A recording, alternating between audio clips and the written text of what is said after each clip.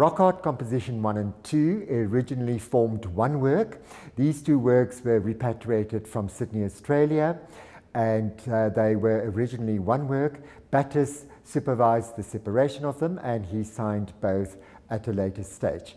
Now, we can clearly see Battiss's interest in uh, South African rock art.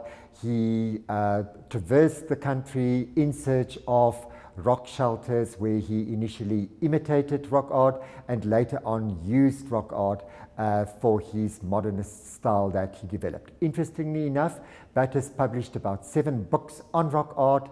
Uh, one was called Artists of the Rock that he published in 1948, and he also happened to give a copy to Pablo Picasso, the Spanish artist living in Paris at the time. Picasso was very impressed with the book, and he very cheekily asked Battiss whether Picasso's own work was as good as the Bushman artists in South Africa.